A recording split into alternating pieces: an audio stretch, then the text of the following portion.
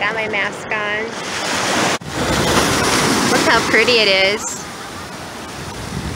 This is the first time I've seen the ocean in a long time.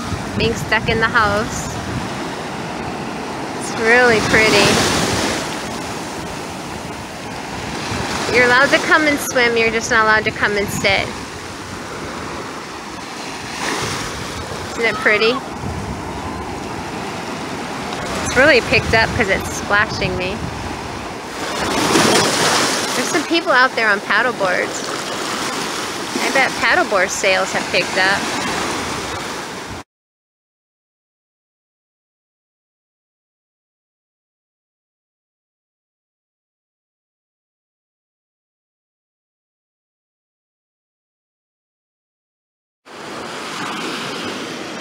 I'm walking along the shoreline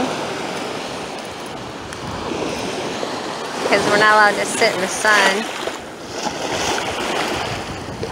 So I got my cane and just slowly walking along, getting some salt water on my toes. Salt water is a great healer, you know. Maybe tomorrow I'll try to get in. But this works.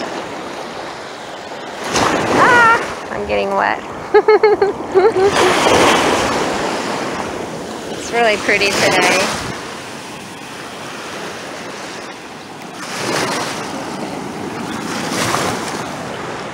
Got my mask on.